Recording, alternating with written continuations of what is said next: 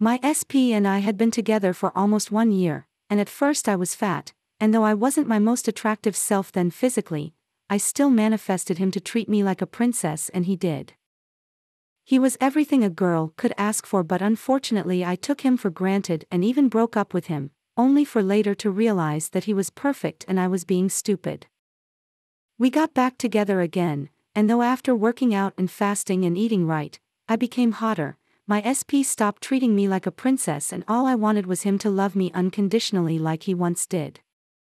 Even though I looked much better physically, my inner self was starting to become ugly and by ugly, I mean insecure, needy, clingy, jealous, angry, and all that shit.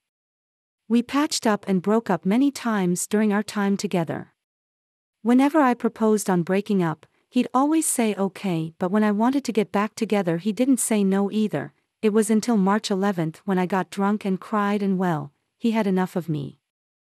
He said he wanted to end things and that we can never work it out and that he has no feelings for me.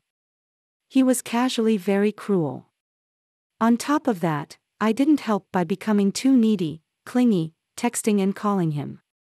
He even deleted his Facebook. And the only way I could contact him was by calling him. Eventually, I realized that you just can't beg for love. That's pathetic. His interest level was just too low. I did no contact and broke it way too many times. But on April 1st, I was determined to not break no contact, and I didn't. Eventually, I started to work hard at the gym and started to work on my self concept. Slowly but surely, I became very calm as if I know everything is working out in my favor. The one thing that I did was when I was bored, I would visualize was us getting intimate with each other. The visualization was so real that I was okay with the fact that it wasn't real, but it was real in my imagination. My body started to react accordingly when I visualized, if you know what I mean. Through a series of events, he called me, he had called me twice after a week of no contact and even met as friends for lunch. I had just started to wake up in the morning visualizing his body next to mine for fun, and then I get a call from him. He decided to meet in a private place to work, as we both can work from home. It was a naturey place, and soon we met, and my visualization worked, we became intimate like I imagined us to be, and it was so natural, like that ugly fight never happened and none of that shit ever even existed. And now he calls me five to six times a day, we video call and talk on the phone and have plans to travel together. He even said that he wants to go to the gym now and do things together.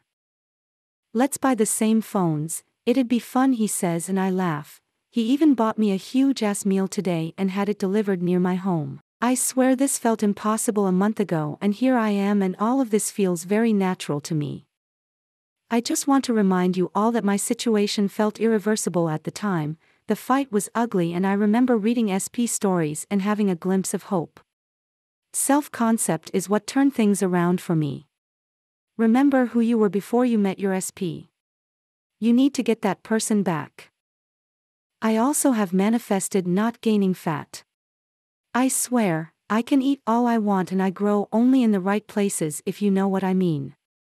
I plan on eating 80% of what my SP got me today, which is a lot, and still, I don't seem to gain the fat on my waist. I'm super super grateful you all. P.S. He called me for the ninth time today.